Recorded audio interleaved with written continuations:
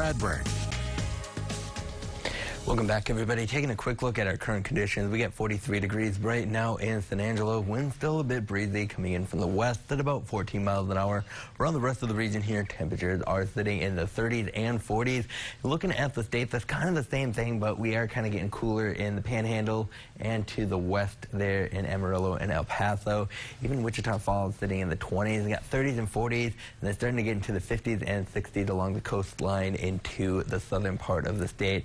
Not not as many winter storm warnings and advisories for, especially in the Midwest area around Colorado, getting to Nebraska and Kansas. Most all of Missouri is covered in an advisory at this time, and folks just to the southeast continue to see plenty of rain showers. So they've been getting quite a bit in that area too. I mean, they're looking at almost three inches of rainfall in the last three days, and because the temperatures are warmer, that is actual rain right there. Whereas here in Kansas in Oklahoma, even around Illinois and Missouri. That may seem like a little obnoxious amount of rainfall, but that's actually snow accumulation, so that's going to change a little bit differently. Breaking down our day planner for today, we are going to have 38 degrees as we get into 8 o'clock this morning.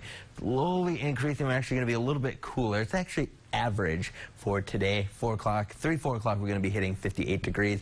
Winds will be shifting starting from the northwest this morning, eventually coming in from the northeast, about 10 to 15 miles per hour for most of the day. Now, highs are expected to be mostly in the mid to upper uh, 50s into the low 60s. Now tonight we are going to be dropping a bit, 36 degrees for a low with increase in cloud cover. Tomorrow's going to be a bit more on the cloudy side, 60 degrees expected for a high. Wind shifting coming from the southeast, 5 to 10 miles per hour. As we head into later tonight, we'll have a little bit lower level clouds coming in. then we have these upper level clouds that are going to continue to help keep us on the cloudy side for the rest of the week after today. Then we're going to clear out as we head into the weekend, and then temperatures will be warmer getting into next week, Monday and Tuesday.